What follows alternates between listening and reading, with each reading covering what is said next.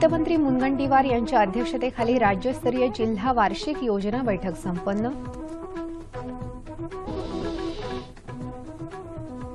नीलक्रांती योजनेला मंत्रिमंडळाची मंजुरी.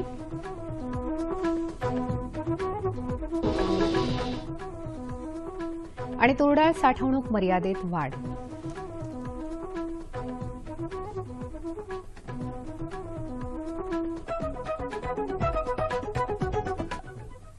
नमस्कार. कृषी वार्ता या बातमीपत्रात मी श्वेता सोपारकर आपलं स्वागत करते आणि आता पाहूयात कृषी विषयक सविस्तर वृत्त. वित्त आणि नियोजन मंत्री सुधीर मुनगंटीवार यांच्या अध्यक्षतेखाली नागपुरातल्या विभागीय आयुक्त कार्यालयात काल राज्यस्तरीय जिल्हा वार्षिक योजना बैठक झाली. यावेळी वर्धा आणि अमरावती जिल्ह्यासाठी अतिरिक्त निधीची मागणी करण्यात आली. दोन हजार सतरा अठरा वर्षासाठी वर्धा जिल्ह्यासाठी एकशे सत्तर कोटी बावन्न लाख चौऱ्याऐंशी हजार रुपयांची तर अमरावती जिल्ह्यासाठी चारशे तेवीस कोटी एकोणसाठ लाख छप्पन्न हजार रुपयांची अतिरिक्त मागणी सादर करण्यात आली. या मागणीबाबत सकारात्मक विचार करून जास्तीत जास्त निधी उपलब्ध करून देण्याचं आश्वासन मुनगंटीवार यांनी यावेळी दिलं. दोन्ही जिल्ह्यांमध्ये जलयुक्त शिवार वन आणि वन्यजीव पशुवैद्यकीय दवाखाने सिंचन सुविधा गावांमध्ये पूर संरक्षण भिंत प्राथमिक आरोग्य केंद्र शौचालय बांधकाम अशा विविध कामांसाठी अतिरिक्त निधीची मागणी करण्यात आली आहे. वाढ करण्याकरता नीलक्रांती धोरण केंद्र शासनानं निश्चित केलं आहे. या धोरणांतर्गत पन्नास टक्के अर्थसहाय्याच्या एकवीस योजना राज्यात राबवायला मंत्रिमंडळाच्या बैठकीत नुकतीच मान्यता देण्यात आली. या योजनांमध्ये जलाशयांच्या क्षेत्रात मत्स्य संवर्धनाकरता नवीन तळी तयार करणे जलाशयांमध्ये मासेमारी करणाऱ्यांकरता फायबर नौका खरेदी मत्स्यबीज संवर्धन तलाव संच उभारणी जेट्टी उभारणी अशा प्रकारच्या एकूण एकवीस योजना समाविष्ट आहेत. या योजनांकरता यंदाच्या आर्थिक वर्षात केंद्र सरकारनं एकोणतीस कोटी बेचाळीस लाखांचा निधी मंजूर केला आहे. यापैकी निम्मा निधी राज्याला मिळालेला आहे. या एकवीस योजनांपैकी पाच योजनांमध्ये राज्य सरकारचा अर्धा हिस्सा राहणार आहे. तर उरलेल्या सोळा योजनांकरता लाभार्थ्यांचा पन्नास टक्के हिस्सा राहील. यंदा राज्यात तुरीचं उत्पादन मोठ्या प्रमाणावर झालं असून बाजारात तुरीची आवक वाढली आहे. राज्य शासनानं तुरीसह सर्व डाळींच्या घाऊक आणि किरकोळ व्यापाऱ्यांकरता साठवणूक मर्यादेत तीन पटीनं वाढ करण्याचा निर्णय नुकताच घेतला आहे. या निर्णयानुसार महानगरपालिका क्षेत्रात साठा मर्यादा घाऊकसाठी दहा हजार पाचशे क्विंटल तर किरकोळसाठी सहाशे क्विंटल. अवर्ग नगरपालिका क्षेत्रात सात हजार पाचशे क्विंटल किरकोळसाठी चारशे पन्नास क्विंटल तर इतर ठिकाणी चार हजार पाचशे क्विंटल एवढी वाढवली आहे. आपलं पारंपरिक ज्ञान त्याला आधुनिक विज्ञानाची जोड आणि नवनवीन प्रयोग यातून भारतामध्ये कृषी क्षेत्रात क्रांती होणार असा विश्वास ज्येष्ठ संगणक तज्ज्ञ आणि नालंदा विद्यापीठाचे कुलगुरू डॉक्टर विजय भटकर यांनी व्यक्त केला. सिंधुदुर्ग जिल्ह्यात ओरोस इथं आयोजित सिंधू अॅग्रो फेस्ट दोन हजार सतराचा नुकताच समारोप झाला. यावेळी भटकर यांना सिंधुदुर्ग जिल्हा कृषी प्रतिष्ठानच्या वतीनं भारत कृषी रत्न पुरस्कार प्रदान करण्यात आला. त्यावेळी ते बोलत होते. संगणक मोबाईल आणि इंटरनेटच्या सहकार्यानं एक समृद्ध शेतकरी घडवण्यासाठी अशा कृषी महोत्सवाची गरज असल्याचं ते म्हणाले. या पाच दिवसीय महोत्सवात शेतीविषयक तसंच पशुपालन शेती अवजारे यांचे स्टॉल्स लावण्यात आले होते. कृषी क्षेत्रातल्या विद्यार्थ्यांसाठी समृद्ध किसान कृषी क्षेत्रात तंत्रज्ञानाचा वापर डिजिटल आर्थिक क्षेत्रात शेतकऱ्यांचा विकास अशा विविध विषयांवर चर्चासत्रही आयोजित करण्यात आली होती. आणि आता पाहूयात बाजारभाव.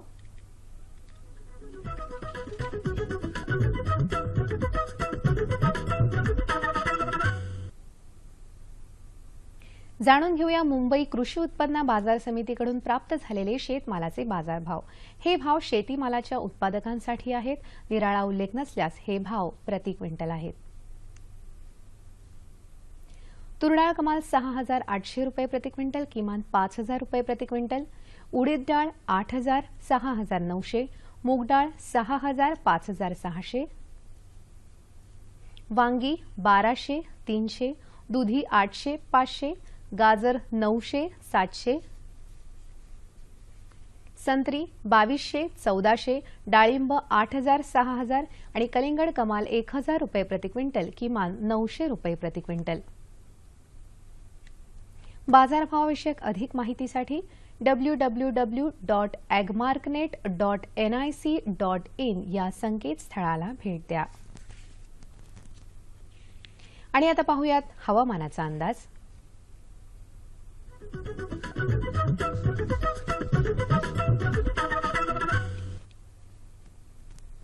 नमस्कार.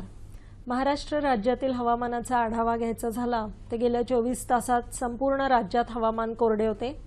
राज्यात सर्वात कमी किमान तापमान पुणे येथे बारा पूर्णांक सात अंश सेल्सिअस नोंदवले गेले. पुढील पाच दिवसांचा हवामानाचा अंदाज असा आहे उत्तर कोकणात दिनांक दहा मार्च रोजी तसेच विदर्भात दिनांक सात ते दहा मार्चपर्यंत तुरळक ठिकाणी मेघगर्जनेसह हलका पाऊस पडण्याची शक्यता आहे. या व्यतिरिक्त राज्यात हवामान कोरडे राहील. शेतकरी बंधूंनी कमाल तापमानातील वाढ लक्षात घेऊन उन्हाळी पिकांना व फळबागांना गरजेप्रमाणे पाणी द्यावे. जमिनीतील ओलावा टिकवण्यासाठी फळबागांमध्ये गवताचे आच्छादन करावे. तसेच भाजीपाला पिकांना पाणी देण्यासाठी ठिबक सिंचनाचा अवलंब करावा. कोकणात भेंडी पीक तयार असल्यास तयार फळांची काढणी करावी. उन्हाळी भात पिकामध्ये पाण्याचे नियोजन योग्य प्रकारे करावे. लोंब्या येण्यापूर्वी दहा दिवस अगोदर व लोंब्या आल्यानंतर दहा दिवसांपर्यंत शेतामधील पाण्याची पातळी दहा सेंटीमीटरपर्यंत ठेवावी. भुईमुग पीक पेरणीनंतर पंचेचाळीस ते पन्नास दिवसांनी पिकावर पिंप फिरवावे त्यामुळे आऱ्या जमिनीत जाण्यास व शेंगा चांगल्या प्रकारे पोसण्यास मदत होते. सूर्यफुलाच्या पेरणीनंतर तीस दिवसांनी कोळपणी करावी व मातीची हलकीशी भर द्यावी. मध्य महाराष्ट्रात पक्व झालेल्या रब्बी पिकांची काढणी सकाळच्या वेळेस करावी. पूर्व हंगामी उसात मुख्य भरणी करून घ्यावी व खताचा उर्वरित हप्ता द्यावा. मराठवाडा विभागात उशिरा पेरणी केलेल्या गहू पिकात दाणे भरण्याच्या अवस्थेत पाणी द्यावे. तापमानात होत असलेल्या वाढीमुळे डाळिंब पिकावरील फुलकळी व कोवळी फळे यावरील फुलकिडींच्या नियंत्रणासाठी फिप्रोनिल दोन मिलीलिटर प्रति लिटर पाण्यात मिसळून फवारणी करावी. विदर्भात जवस पिकावरील गाद माशीच्या व्यवस्थापनासाठी ॲसेटामिप्रिड वीस एस पी दोन ग्रॅम किंवा इमिडाक्लोप्रिड सतरा पॉईंट आठ एस एल अडीच मिलीलिटर प्रति दहा लिटर पाण्यात मिसळून पंधरा दिवसाच्या अंतराने दोन फवारण्या कराव्या किंवा डायमेथोएट तीस टक्के प्रवाही दहा मिलीलिटर प्रति दहा लिटर पाण्यात मिसळून फवारणी करावी. धन्यवाद.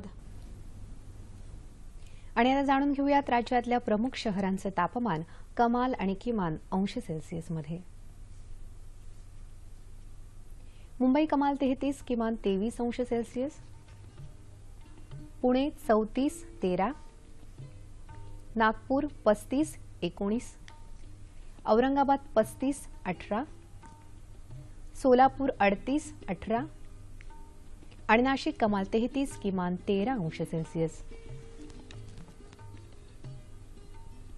हवामानविषयक अधिक माहितीसाठी W W W dot I M D Mumbai dot G O V dot in या संकेतस्थळाला भेट द्या. याबरोबरच आजच्या कृषी वार्ता संपल्या. पुन्हा भेटूया पुढील कृषी वार्तामध्ये. तोपर्यंत नमस्कार.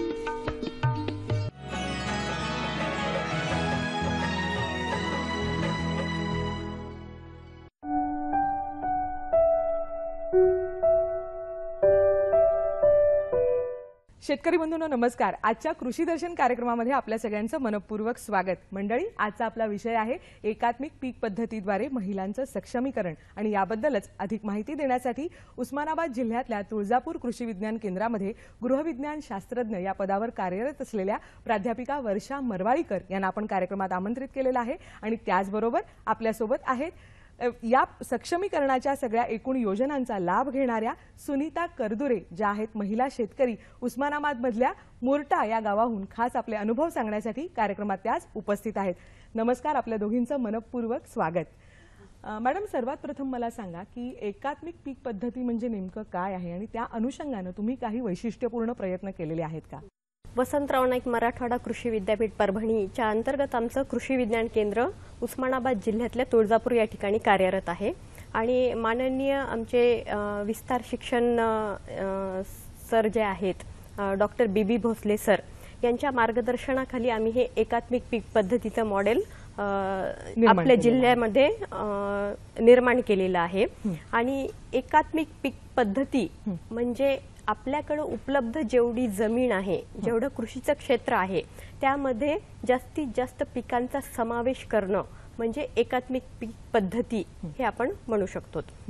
पण आता याच्यामध्ये याची नेमकी गरज काय आहे? एकात्मिक पीक पद्धतीची गरज काय आहे? कारण शेतकरी आपल्या शेतामध्ये उत्पादन घेत असतो विविध पिकं घेत असतो. याची नेमकी काय गरज आहे? आज आपण पाहतोय की हे मॉडेल आम्ही निर्माण केलेलं आहे. तर याच्या मागची कारणं काय आहेत? आज आपण जर ॲग्रिकल्चर सेन्सस बघितला दोन हजार दहा अकराचा म्हणजे कृषी गणना अहवाल जो आहे तो त्याच्या अहवालानुसार आपल्या भागातले आपल्या राज्यातले ऐंशी टक्के शेतकरी हे पाच एकरपेक्षा कमी क्षेत्र असलेले आणि त्यापेक्षाही कमी क्षेत्र असलेले शेतकरी आहेत. आणि दुसरं कारण म्हणजे कुटुंबाचा जो पोषण दर्जा असतो तो अतिशय निकृष्ट असा आहे. आणि तिसरं जे कारण आहे की आपल्याकडे एक पीक पद्धतीमुळं काय झालेलं आहे की जमिनीचं उत्पादन देण्याची जी क्षमता आहे ती कमी कमी होत चाललेली आहे. त्याच्यामुळं शेतकरी आर्थिकदृष्ट्या देखील फायदेशीर नाहीये. तर या कारणांमुळे आम्ही हे एकात्मिक पीक पद्धतीचं मॉडेल निर्माण केलेलं आहे आणि आपल्या जिल्ह्यामध्ये ते इंट्रोड्यूस केलेलं आहे ओळख केली करून दिलेली आहे शेतकऱ्यांसाठी. नेमकं काय आहे हे मॉडेल? तर आम्ही थोडक्यात एक तुम्हाला पार्श्व पार्श्वभूमी सांगते. कृषी विज्ञान केंद्र तुळजापूर. त्याच्यानंतर महाराष्ट्र राज्य ग्रामीण जीवन उन्नती अभियान आहे उस्मानाबाद जिल्ह्यामध्ये. तर ते आणि त्याच्यानंतर एक स्वयंशिक्षण प्रयोग उस्मानाबाद ही एक संस्था आहे. तर ह्या सर्वांच्या संयुक्त विद्यमाने आम्ही माननीय doctor B B Bhosale sir त्याचबरोबर माननीय आमच्या उस्मानाबाद जिल्ह्याचे जिल्हाधिकारी साहेब डॉक्टर प्रशांतजी नारनवरे सर यांच्या मार्गदर्शनाखाली उमेद आणि बळीराजा चेतना अभियान कार्यक्रम राबवलेला आहे जिल्हाभर. आणि त्याच्या अनुषंगाने आम्ही जवळपास एक सात आठ हजार शेतकऱ्यांपर्यंत पोहोचलेलो आहेत. आणि उस्मानाबाद जिल्ह्याचा विचार करता मागच्या तीन चार वर्षापासून जिल्ह्यामध्ये दुष्काळ पडत चाललेला आहे. आणि अशा परिस्थितीमध्ये शेतकरी अतिशय मानसिकदृष्ट्या खचलेला आहे. मग हेच एक आपल्याला छान म्हणजे संधी मिळालेली होती की आपण भविष्यामध्ये शेतकऱ्यांना या परिस्थितीला सामोरं न जाण्यासाठी काय केलं पाहिजे हे पटवण्यासाठी ही एक संधी मिळाली होती आपल्याला. आणि मग त्यावेळेला आम्ही त्यांना एकतर मानसिकरित्या समुपदेशन कार्यक्रम राबवले. त्याच्यानंतर दुसरं शेतीपूरक उद्योगाकडेही वळलं पाहिजे आपण. हे देखील त्यांना गरज त्याची पटवून दिलेली आहे. आणि त्याचबरोबर एक पीक पद्धतीपेक्षा एकात्मिक पीक पद्धती करणं गरजेचं झालेलं आहे. हे. त्यांना आम्ही पटवून सांगितलेलं आहे. आणि दुसऱ्याच भाषेमध्ये एकात्मिक पीक पद्धती म्हणलं की थोडं शेतकऱ्यांना वेगळा एक बघण्याचा दृष्टिकोन झाला होता. त्याच्यामुळे आम्ही एक त्यांना छोटंसं नाव दिलं अन्न सुरक्षा मॉडेल. असं. आणि त्या मग ते इतकं प्रचलित झालेलं आहे की आज घडीला तुळजापूरमध्ये तेवीस मॉडेल हे आपले डेव्हलप झालेले आहेत आणि अतिशय सक्षमरित्या महिला त्या करत आहेत. बरोबर. अन्न सुरक्षा मॉडेल आणि अन्नाचा जेव्हा विचार येतो तेव्हा अर्थातच त्याच्याशी स्त्रीचं नाव जोडलं जातं आणि महिला सक्षमीकरणाचा आपण आज विषय आहे आपला. तर महिलांनी याचा लाभ किती घेतला आणि त्याच्यावर अंमलबजावणी किंवा आपल्या शेतामध्ये याचे प्रयोग कितपत करून बघितले? त्याची फलित नेमकी काय आहेत? एकात्मिक पीक पद्धती मॉडेल. आणि आम्ही त्याला दुसरं नाव अन्न सुरक्षा छोटंसं आपलं नाव दिलेलं आहे अन्न सुरक्षा मॉडेल. तर यामध्ये आपण काय केलेलं आहे की दोन गोष्टी सांभाळलेल्या आहेत. एक तर अन्न सुरक्षा मॉडेल. म्हणजे आपल्या कुटुंबासाठी जो लागणारं धान धान्य आहे भाजीपाला आहे ते आपल्याच घराला पुरेसं असावं आणि त्याच्यानंतर त्याच्यातून जे उत्पादन मिळते त्याच्यातूनही काही आर्थिक नफा व्हावा हे दोन उद्देश आम्ही त्यामध्ये समोर ठेवलेले आहेत. महाराष्ट्र राज्य ग्रामीण अं, जीवन ज्योती अभियान जे आहे त्याच्या अंतर्गत महिला किसान सक्षमीकरण परिवर्तन योजना आहे. तर त्याच्या अंतर्गत आमच्या तुळजापूर तालुक्यामध्ये तेवीस गावं दत्तक घेतलेली आहेत. आणि ह्या तेवीस गावांमधून तेवीस कृषी सखी निवडण्यात आलेल्या आहे. आणि त्या तेवीस कृषी सखींना थोडंसं कंपल्शन म्हणावं थोडक्यात त्यांना कंपल्सरी केलं की आपण तुम्ही हे मॉडेल राबवा तुमच्या शेतामध्ये की जेणेकरून इतर सखींनी ते पाहिलं पाहिजे इतर शेतकऱ्यांनी ते पाहिलं पाहिजे आणि त्याची अंमलबजावणी केली पाहिजे. तर अशा पद्धतीने त्या मॉडेलची सुरुवात केलेली आहे आम्ही. एक तर आपण तुम्हाला मी आत्ताच सांगितलं की उमेद कार्यक्रम आणि बळीराजा चेतना कार्यक्रमातून आपण त्यांना इंट्रोड्यूस केलेला आहे. आणि दुसरा एक सकारात्मक परिणाम होण्यासाठी आपण त्यांना एक अभ्यास दौऱ्याला नेलेला आहे. ज्याच्यासाठी आपल्याला कृषी विभागानं निधी उपलब्ध करून दिला होता. आणि त्याच्या माध्यमातून आपण त्यांना कोल्हापूर येथील सिद्धगिरी मठ ज्या ठिकाणी एक एकरमध्ये जवळपास शंभर पिकं घेतलेली आहेत. आणि त्यांनी एवढी गॅरंटी दिलेली आहे की दर हंगामी तुम्ही याच्यामधून जवळपास एक लाखाचा नफा काढू शकता. आणि ते बघितल्यानंतर ते मॉडेल बघितल्यानंतर महिलांना आणखी काय म्हणतो उत्साह. वाढलेला आहे.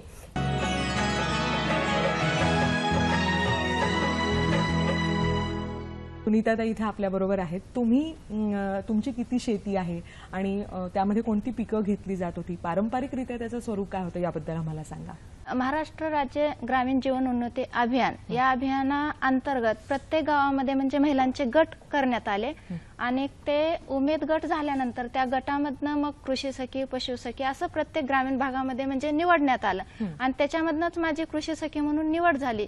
कृषी सखी म्हणजे काय? तर नेमकं शेतकरी महिलांपर्यंत पोहोचणं आणि त्या महिलांना शेतीमध्ये जास्तीत जास्त म्हणजे सहभागी करून शेती चांगल्या पद्धतीने कसं करता येईल किंवा सेंद्रिय पद्धतीने कशा करता येईल. यासाठी त्यांना मार्गदर्शन करण्यासाठी प्रत्येक ग्रामीण भागामध्ये कृषी सखी निवडण्यात आलेले आहे तुळजापूर तालुक्यामध्ये टोटल तेवीस कृषी सखी आहेत आणि या तेवीस कृषी सखींनी स्वतः अगोदर हे जे एकात्मिक पीक पद्धती म्हणजेच अन्न सुरक्षा मॉडेल हे स्वतः त्यांनी तयार केलेलं आहे आणि मग ते तयार केलेलं अन्न सुरक्षा मॉडेल त्या ग्रामीण भागातल्या महिलांना म्हणजे दाखवण्यात आलं. त्यांना त्यांचं म्हणजे माहिती देण्यात आली आणि त्याच्यानंतर मग त्यांना ते राबवण्यासाठी तयार करण्यात आलं. तर मी आता माझा स्वतःचा अनुभव सांगते.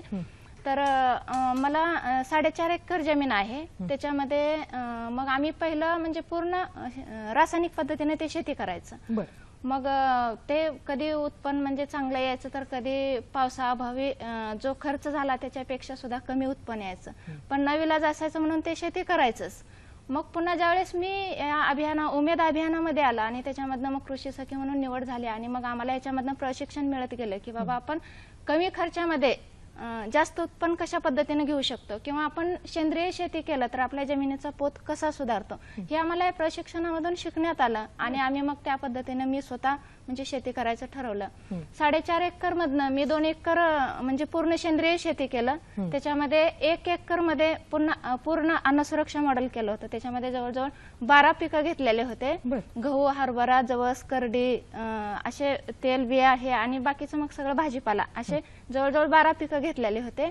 आणि मग त्याच्यामध्ये सेंद्रिय पद्धतीने असं केलं की ज्यावेळेस आता आपण पूर्वी रासायनिक करत असताना पेरताना रासायनिक खत घालायचा ते पेरायचं. पण आम्ही तसं केलंच नाही. ह्यावेळेस पेरत असताना आम्ही ठरवलं की दोन एकर पूर्ण सेंद्रिय पद्धतीनं करायचं. आणि आम्ही ज्यावेळेस ते करायला सुरुवात केली त्यावेळेस अगोदर दोन एकरची पूर्ण मशागत करून घेतली. त्याच्यामध्ये पूर्ण शेणखत होता आमच्या म्हणजे शेतामध्ये. जनावर असल्यामुळं. शेणखत होता ते शेणखत आम्ही दोघांनी त्या शेतामध्ये पेरून घेतलं. आणि त्याच्यानंतर घरचंच आमचं म्हणजे हरभऱ्याचं गव्हाचं ज्वारीचं असं बियाणं ठेवलेलं होतं. आणि ते बियाणं आम्ही ते पेरलं. आणि ज्यावेळेस हे पीक उगवून आलं आणि एक महिन्यानंतर आम्हाला वाटलं की आता ह्याला थोडंसं म्हणजे फवारणी करायची आवश्यकता आहे. तर त्यावेळेस आम्ही ठरवलं की आपण पूर्ण सेंद्रिय पद्धतीनं केलेलं आपलं उत्पन्न थोडंसं घटलं तरी चालेल. पण आपण एक वेळेस करून बघायचं. आम्ही दोघांनी पण ठरवलं. आणि मग त्यावेळेस आम्ही त्या ज्यावेळेस फवारणी करायची गरज वाटली त्यावेळेस आम्ही निमार्कची फवारणी केली. ती म्हणजे निमार्क फवारणी अशा पद्धतीची आहे की दहा किलो आता त्यावेळेस आताच्या ह्याच्यामध्ये म्हणजे लिंबोळी नव्हती तर आम्ही दहा किलो लिंबाचा पाला घेतला. आणि थोडस पाच लिटर गाईचं गोमूत्र घेतलं गावरान गाईचं. आणि त्याच्यामध्ये अर्धा किलो मिरची म्हणजे ठेसा केला आणि त्याच्यामध्ये टाकलं. आणि ते सगळं मिश्रण एकत्र केलं त्याला चार दिवस त्याच्यामध्ये ते भिजू दिलं. आणि पाचव्या दिवशी ते थोडंसं म्हणजे पिळून बाजूला केलं आणि ते शोधून घेतलं. आणि ते आपल्या पंधरा लिटरच्या फवाऱ्यामध्ये एक लिटर असं ते मिश्रण केलं. आणि ते पूर्ण दोन एकरमध्ये त्याची फवारणी केली. एक महिन्यानंतर एक फवारणी केली. त्याच्या म्हणजे जो रिझल्ट आहे तो आम्हाला चांगल्या प्रकारे म्हणजे जाणवला की बऱ्यापैकी आपणाला हा रिझल्ट आलेला आहे. आणि परत मग आम्ही ते असंच करत गेलो आणि परत एक महिन्यानंतर परत आम्हाला वाटलं की हरभऱ्यावरती ते थोडंसं म्हणजे आळी ते कुठंतरी दिसत होती. मग आम्ही दोघांनी त्याच्यामध्ये पूर्ण फिरलं त्या हरभऱ्यामध्ये. आम्हाला म्हणजे ट्रेनिंगमध्ये असं शिकवलं गेलं होतं की एक मीटरमध्ये आपण त्याचं निरीक्षण करायचं. एक मीटरमध्ये समजा जर आपणाला पाच सात आळ्या दिसल्या तर आपण ठरवायचं की ते हरभरा आपला फवारण्यायोग्य आहे किंवा ते पीक आपलं फवारण्यायोग्य आहे. तर आम्ही दोघांनी ठरवलं ह्याच्यामध्ये आपण फिरायचं. आणि फिरत असताना निरीक्षण करायचं की बाबा एक मीटरमध्ये किती आळ्या आढळते ते. तर एक मीटरमध्ये मी निरीक्षण केलं तर मला सहा म्हणजे आळ्या आढळल्या आणि ते ह्याकडचं त्याकडपर्यंत जाऊन आले त्यांना नऊ आढळल्या. मग आम्ही दोघांनी पण ठरवलं की बाबा आपला हा हरभरा जो आहे तो फवारण्यायोग्य आहे हा पीक फवारण्यायोग्य आहे. परत आम्ही निमार्कची दुसरी फवारणी केली त्याला. एवढे म्हणजे चांगले रिझल्ट आले मॅडम त्याचे एकदम चांगले की जो हरभरा होता रासायनिक फवारणी केल्यानंतर तो दिसत नव्हता. तो सेंद्रिय फवारणी किंवा जैविक फवारणी केल्यानंतर एकदम म्हणजे त्याचा कलर हिरवा हिरवा गार असा म्हणजे चांगला आणि त्याच्यावर जे कीड पडलेले होते ते पण पूर्ण नष्ट झाले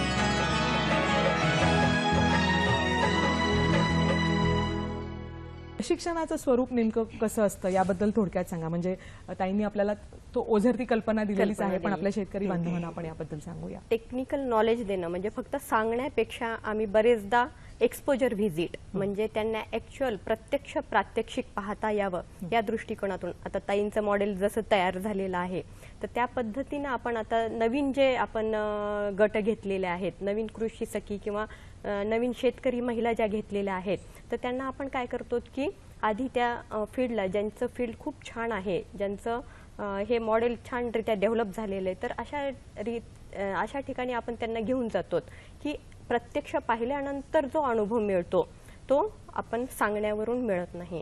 तर अशा पद्धतीनं आमची कोणतंही प्रशिक्षण राबवण्याची पद्धतच आहे की आपण थेरॉटिकल पण घेतो आणि प्रॅक्टिकल पण दाखवू शकतो.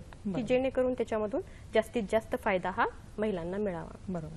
आता यामध्ये कधी कधी असं होतं की काही लोकांना हे पटतं पण पूर्णपणे ते सहभागी होत नाहीत. तर या लोकांपर्यंत म्हणजे जास्तीत जास्त शेतकऱ्यांपर्यंत आणि त्यातही महिलांपर्यंत पोहोचण्यासाठी कृषी सखी हा तर एक मुद्दा झाला. आणखीन काही प्रयत्न केले जात आहेत का.